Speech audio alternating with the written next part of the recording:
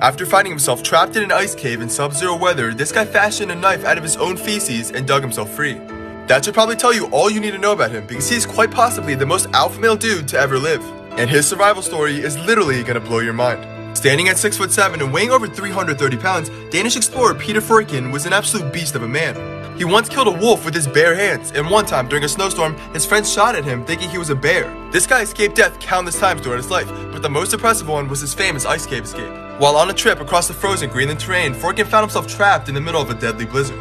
With no shelter nearby, he resorted to hiding under his dog sled until the storm passed. But after waiting for many hours, he found himself and the dog sled completely buried under a ton of snow.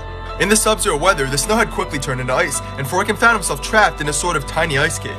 After watching the saliva in his beard freeze in a matter of minutes, ripping out a layer of his cheek and beard, he had an idea. Freuchen took a dump, molded it into a knife, and then waited for it to freeze. What happened next is just pure alpha male. Part 2 will be out soon. This insane man escaped death by fashioning a knife out of his own feces. Part 2. After Peter Freuchen's poop had frozen over and he molded it into a knife, he began to use it to dig his way out. At the time, he was slipping in and out of consciousness from the extreme cold, and it took him many hours to slowly chip his way out of the dense ice. By the time he had gotten out, his legs were badly frostbitten and he couldn't walk.